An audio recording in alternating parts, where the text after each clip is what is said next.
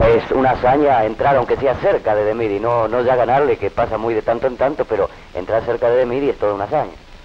Así parece, ¿no? Es que creo que Alberto tiene una fuerza interior tan grande, tan grande, que lo empuja a que realice todo lo que él quiere. Estamos viéndolo desde sus últimos triunfos, desde el Panamericano aquel en, Canadá, después el europeo, después el, mundial, ahora otra vez el europeo, el, reciente de Colombia, ¿no?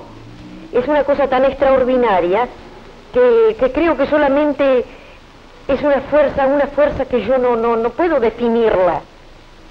Ni siquiera como madre. Ni siquiera como madre. Creo que yo también hago tanta fuerza como él. Yo le ayudo mucho.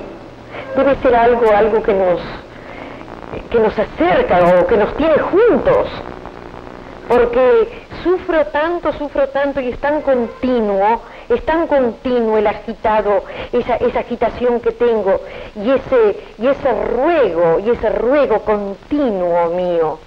Porque vivo, vivo rogando, vivo implorando a no sé qué, a qué fuerzas ¿Usted quiere que él siga remando o usted ya está satisfecha con lo que hizo Alberto en el remo? Si es la voluntad de él seguir remando, sí quiero que reme. Aunque usted sufra.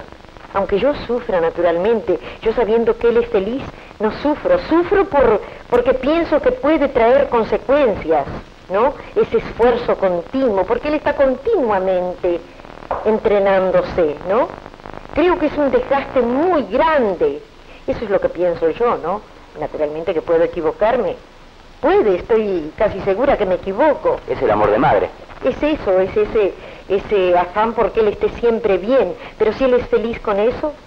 Y usted también es feliz entonces. Indudable. Gracias, señora de y esperamos volver a reportearla tras muchos triunfos de Alberto, porque todavía tiene un futuro muy lindo por delante. Espero que sí, que siga triunfando. Mientras siga remando, mientras él tenga la voluntad de hacer lo que quiere hacer, que sea todo en buena hora para él. Gracias.